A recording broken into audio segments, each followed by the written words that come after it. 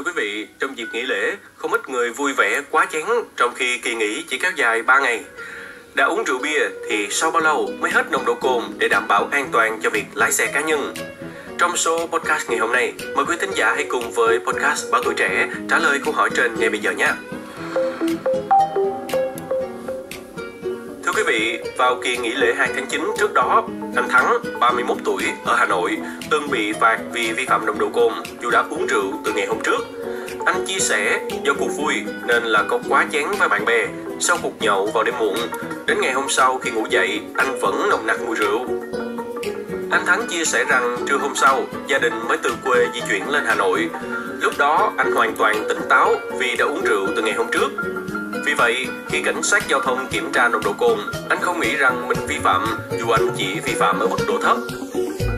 Theo bác sĩ Nguyễn Huy Hoàng, Trung tâm oxy cao áp Việt Nga, Bộ Quốc phòng, tùy từng trường hợp có thể đào thải rượu bia chậm hơn hoặc nhanh hơn. Cụ thể, có người uống từ tối hôm trước nhưng sáng hôm sau nồng độ cồn trong máu trong hơi thở vẫn còn, nhưng có người thì không. Những người có chức năng gan suy yếu hay có cơ thể chuyển hóa chậm hơn sẽ mất nhiều thời gian hơn. Vì vậy, trong dịp lễ Tết khi đã sử dụng rượu bia nên thận trọng. Tiến sĩ Bùi Lê Minh, trưởng ngành công nghệ sinh học, Viện Kỹ thuật Công nghệ cao Nguyễn Tất Thành, trường Đại học Nguyễn Tất Thành cũng cho rằng tốc độ đào thải cồn khỏi cơ thể phụ thuộc nhiều yếu tố như tuổi tác, giới tính, di truyền, cân nặng, Trung bình cơ thể sẽ mất khoảng 14 đến 24 tiếng để hoàn toàn chuyển hóa và đào thải cồn khỏi cơ thể. Vì vậy, có thể xảy ra tình trạng sau một đêm nhậu quá chén khi ngủ dậy và đã tỉnh rượu, nhưng bạn sẽ vẫn phát hiện ra cồn trong hơi thở. Theo bác sĩ, thông thường một đơn vị cồn tương đương 10 gram ethanol nguyên chất 200ml bia, một ly rượu vang 75ml, một chén rượu mạnh 25ml một đơn vị cồn cần một tiếng phân hủy hoàn toàn qua đường hô hấp và bài tiết khoảng 15%, còn lại là cồn được đào thải tại gan. Hai lon bia sẽ tương đương với 3 đơn vị cồn và chúng ta sẽ mất khoảng 3 tiếng để thải trừ cồn. Tuy nhiên, sau khi thải trừ, có thể cần 2 đến 3 tiếng để cồn trong hơi thở được phát tán hết. Khi đó bạn thổi nồng độ cồn sẽ không dương tính. Như vậy, hai lon bia bạn sẽ mất khoảng 6 tiếng để có thể đưa nồng độ cồn về không.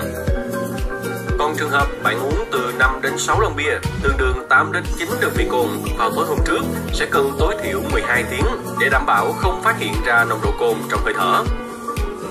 Với quy định hiện nay, khi bạn bị thổi nồng độ cồn, chỉ cần phát hiện ra cồn trong hơi thở, chưa tới 0,25mg trên lít, bạn đã vi phạm. Vì vậy, uống một cốc bia trong vòng một tiếng, bạn vẫn có khả năng bị phạt. Nếu lái xe thì cần tránh uống bia trong khoảng 5 đến 6 tiếng trước khi lái xe, dù chỉ là một cốc. Tiến sĩ Minh cho biết thêm, với trường hợp sau khi uống một cốc bia khoảng 350ml, khoảng 15 phút là kết quả đọc nồng độ cồn đã có thể phát hiện ra cồn trong hơi thở. Một cốc bia có thể làm tăng nồng độ cồn trong máu BAC lên 0,02%.